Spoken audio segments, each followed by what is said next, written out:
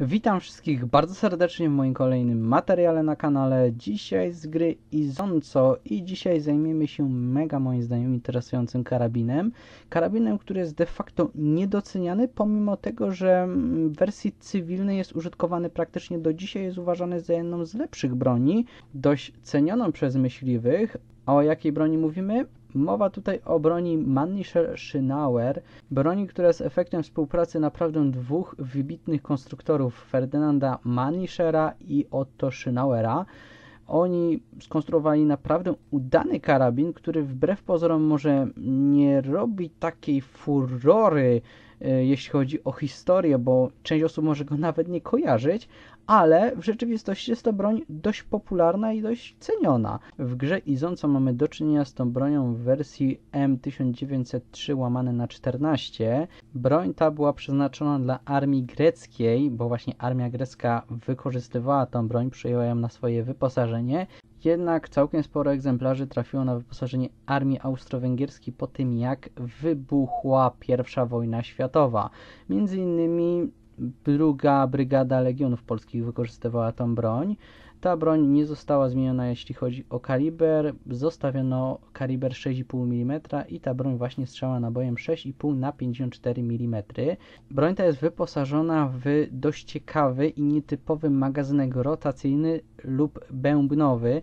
Warto tutaj zaznaczyć, że z tym drugim określeniem spotkałem się może w dwóch książkach i właściwie tutaj właśnie skłaniam się do tego, żeby używać nazwy rotacyjny. Jednak mimo wszystko niektórym faktycznie może to przypominać bęben taki jaki mamy w rewolwerze, jednak tu jest różnica taka, że ten bęben jest jakby półotwarty, mamy jedynie skrzydełka, to nie są zamknięte komory i te skrzydełka po prostu dosyłają kolejne naboje. Co ciekawe, z jednej strony, pomimo tego, że wydaje się to dość skomplikowane, jest to mega proste i niezawodne, a żeby nie było wątpliwości jak to wygląda, to tutaj mamy właśnie pokazany rysunek, schemat, jak ten magazynek właśnie wygląda i wbrew pozorom ten system jak najbardziej się sprawdzał.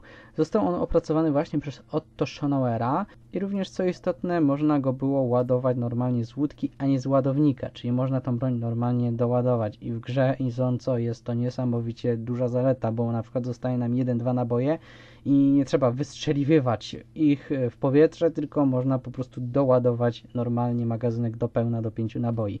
Mega fajne rozwiązanie moim zdaniem, e, jeśli chodzi właśnie o zastosowanie normalnej łódki, a nie ładownika. Ładowniki mają swoje zalety, ale też mają swoje wady. Broń ta została również wyposażona w bardzo przyjemny w działaniu, bardzo pewny zamek czterotaktowy. Jak najbardziej ten zamek bardzo dobrze się spisywał i z tego co wyczytałem w jednej książce, był to zamek, który chodzi wyjątkowo przyjemnie, w sensie on nie stawia praktycznie oporu, on jest bardzo wygodny, nie trzeba praktycznie używać siły, żeby go otworzyć, więc to jest mi się wydaje również kolejna zaleta tej broni.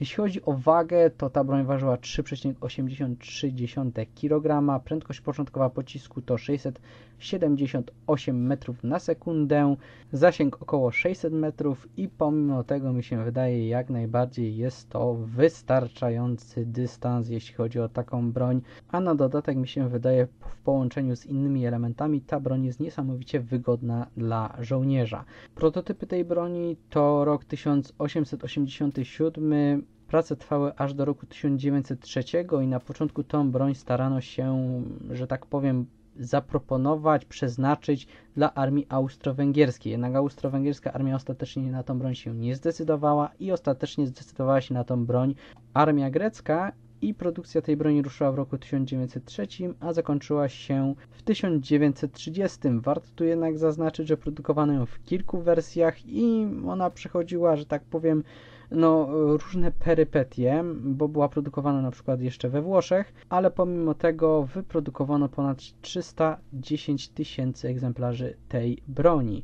No i warto tu również zaznaczyć, że ta broń była produkowana również na rynek cywilny. Jest ona wytwarzana właśnie nawet w dzisiejszych czasach i jest to broń bardzo ceniona przez myśliwych, którzy polują na grubego zwierza, dlatego że tą broń wbrew pozorom można przerobić na mocniejszy nabój.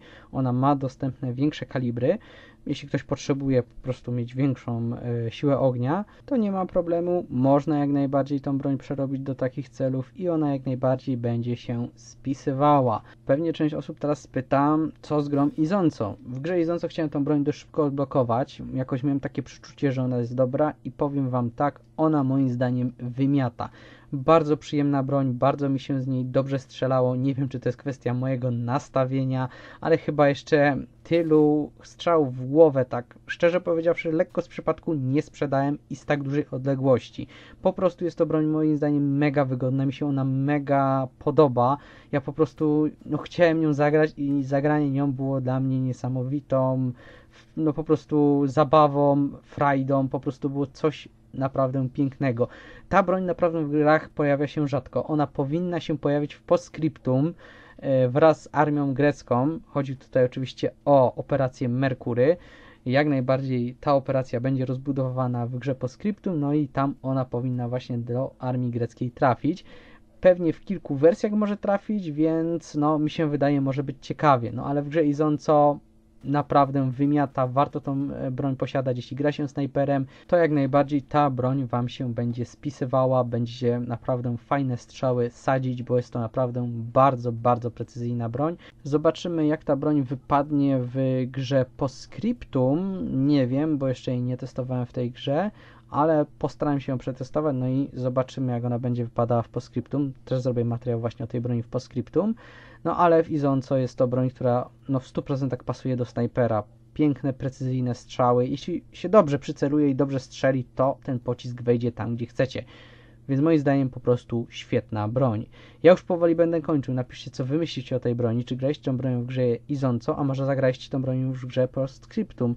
Jak tam się spisywała, z mojej strony to tyle. Jeśli film Wam się podobał, no to zostawcie lajka, zasubskrybujcie kanał, komentarze jak zawsze są dla Was. Trzymajcie się ciepło, do usłyszenia, no i cześć!